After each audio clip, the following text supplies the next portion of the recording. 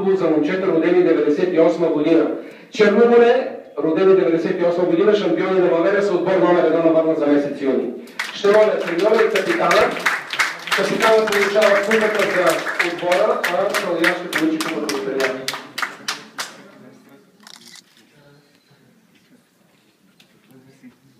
Бояне, застанете от двете страни на господин Портних, от двете страни, за да направим снимките.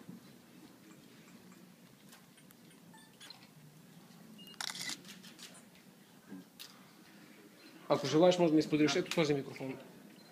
Калян Георгиев, треньор на отбора. Добър ден на всички, господин Кмете. Искам да благодаря отново на журналистите, които за пореден път ме подкрепиха. Това значи много за тези лица.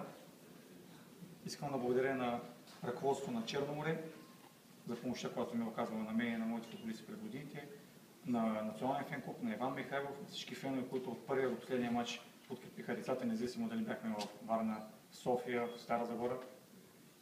Предния път, като станахме отбор на месеца, казахме момчетата и пред вас, че те са най-добър отбор в България.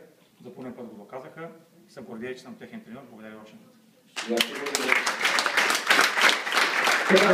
Благодаря някой